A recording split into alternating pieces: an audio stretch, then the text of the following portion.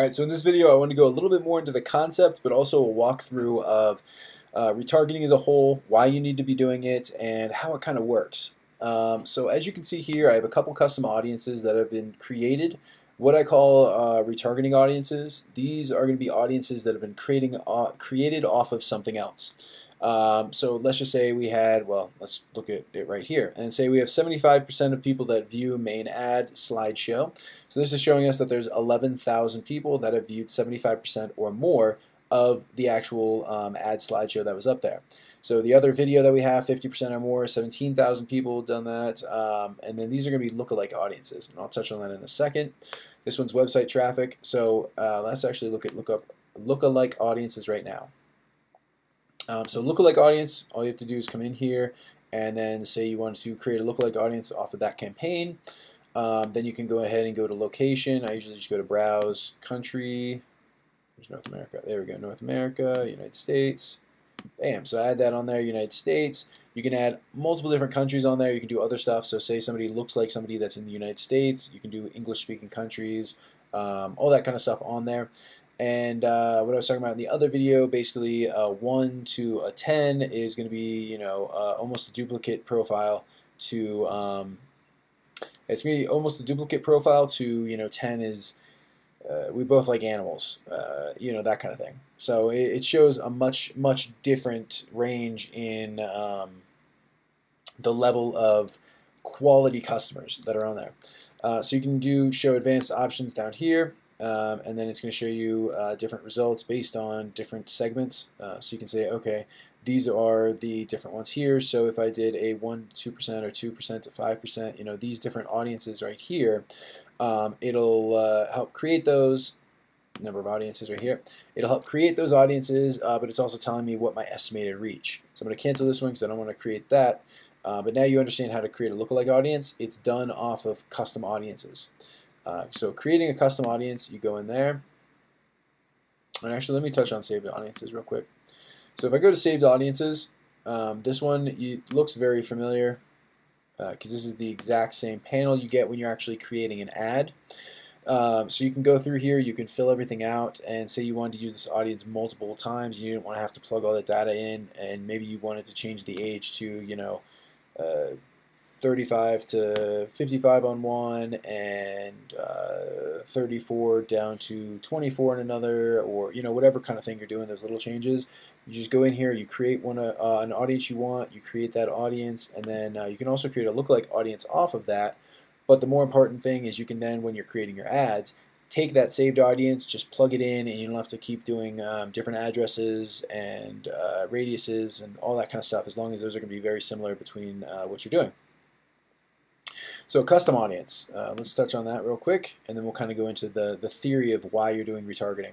So your customer file is, uh, say you have an email list, you have a phone list, something like that, please make sure it is approved. And when I say approved, I mean people have actually given you permission. Don't just put stuff on there that uh, nobody has given you permission. Facebook is cracking down like crazy. I would never upload a list like that. I know in the past a lot of people have done that. They've had a lot of success with it. Just don't do it. Um, all the stuff that's been happening lately, just don't, don't do that.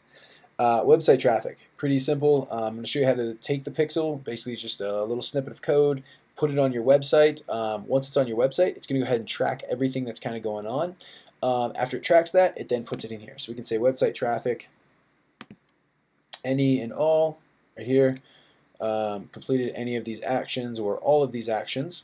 Uh, so say we're using that pixel right there, boom, because we're on that account all website visits, uh, people who visit specific pages, so we can do this one, um, contains, doesn't contain, or equals. Um, I usually put contains just because contains is a lot easier. Um, contains, you know, you don't have to worry about uh, there's a dash or uh, no no dash or you know no forward slash or there's you know it's going to give you that kind of stuff on there. So say you have you know uh, contains cats is like in the top uh, URL. All your products that have the products of cats, boom, it's going to plug all those URLs in there. It's going to show it there. Versus, um, you know, if you put in you know forward slash cats and it's not forward slash cats, it's actually you know um, category dash cats, you know that kind of stuff.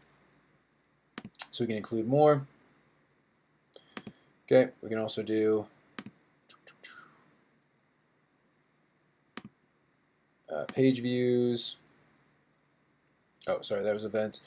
Uh, visitors time spent, so visitors time spent, actually web page, same thing. You can put your stuff in there right there. Um, pretty self-explanatory, how much time they spent on your actual site.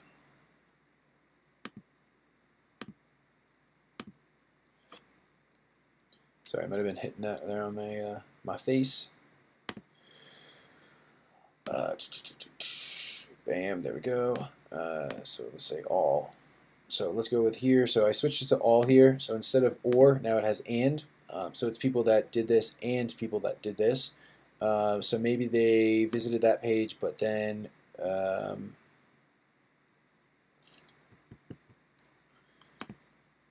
you know whatever uh, doesn't contain. Bam.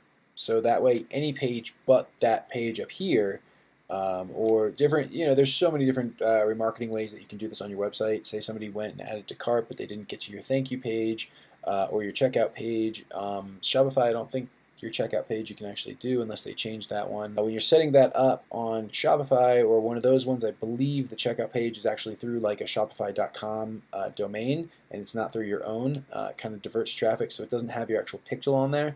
So you can kind of get why that's not going to actually work as a domain. But you can say, you know, they added to cart but didn't get to the thank you page because if they didn't check out, they wouldn't have gotten to the thank you page. You can go on here and say, you know, people that met this criteria but didn't hit this site or that you know all that kind of stuff to create those. Um, or a much simpler version, uh, landing pages. Uh, when when I do a lot of landing pages for local clients and now for uh, more e-commerce people as well, uh, especially for sending them on to Amazon or something like that, you can say um, you know people that visited this blog but didn't visit the sales page and then we want to send those people back to the sales page. That way, they you know check out the sales page, and then we push them onto Amazon or uh, people that you know spent little time on there, or you know whatever it is. It's usually a little bit easier with local businesses because you have a thank you page and you have the um, opt-in page. So you can say, okay, people that went to the opt-in page didn't get to the thank you page, or exclude everybody that got to the thank you page because I don't want to run ads to those people. They've already opted in. It doesn't make sense to run ads to them. App activity, uh, yeah, we're not really doing that. Offline activity, you basically upload your lists. It's pretty simple. You have other stuff that happen too. Um, basically, this is what's just going to say uh, these are events that are happening on your Pixel.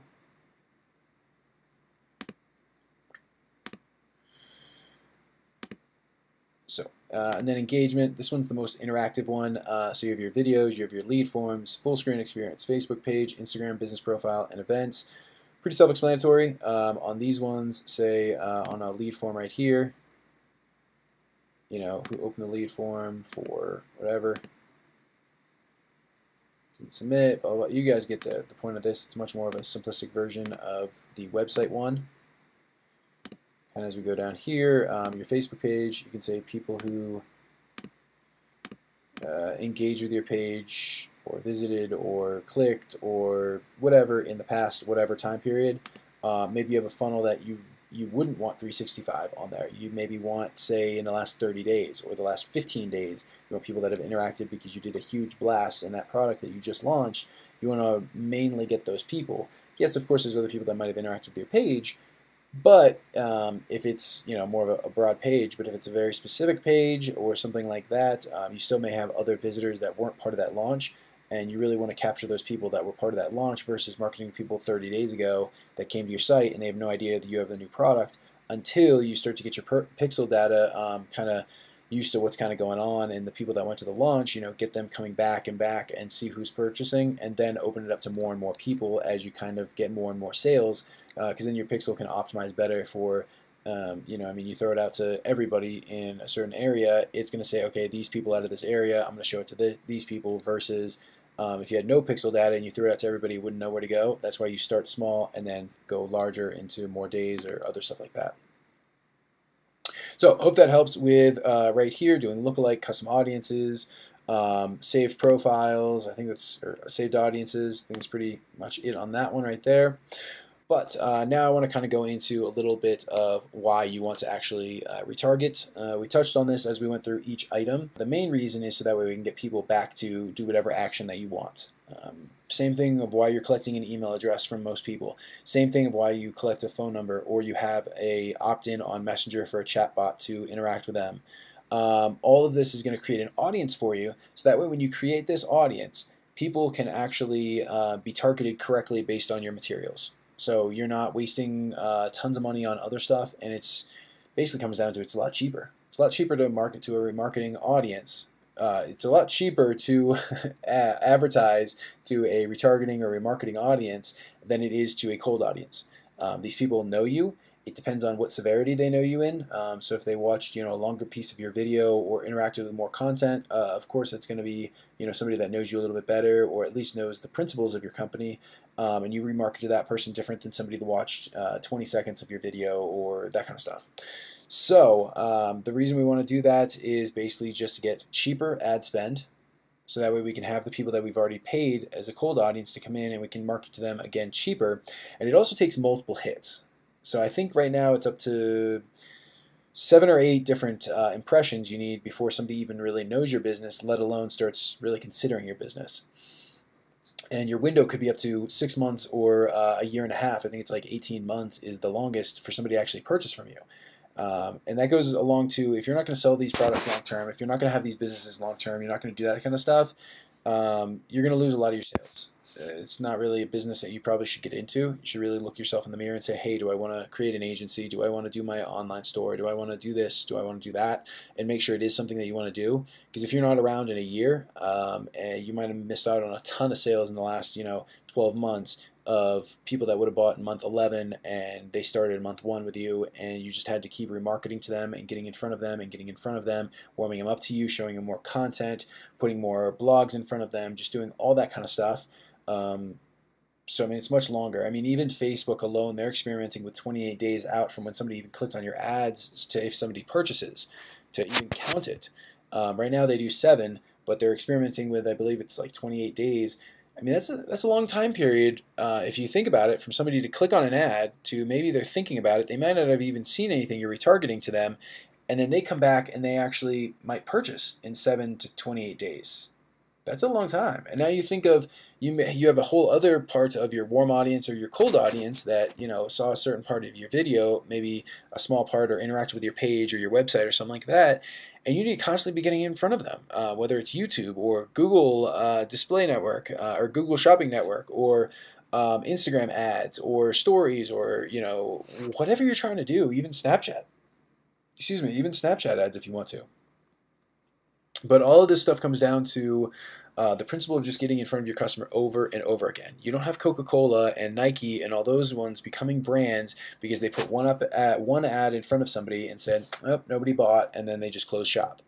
No, they're around because they're always marketing to us. We're always seeing Adidas, um, you know, signs or this or that or celebrities wearing the stuff or Nike um, and then you got Coca-Cola. They're constantly putting out commercials. You got Pepsi and Coke and all these commercials and McDonald's and all these ones. They didn't become these household names and these just crazy huge companies because nobody knew of them. The only way, way you can actually become a big company is if people actually know who you are and that you exist. Um, I believe uh, I think it was Grant Cardone his quote was um, the biggest reason that people lose out on a sale is that people forget you so you don't want to be forgotten, and retargeting does this for you automatically, so that way you're not forgotten in people's minds.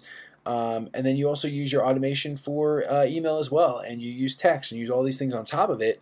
But this type of uh, remarketing and retargeting will actually help you in the long run to make sure that uh, people that saw your product or interacted with you, they come back. Um, I get it. Some people you might want to just let go, but for the most part, you need to keep after people over and over and over again to make sure that they're seeing your product.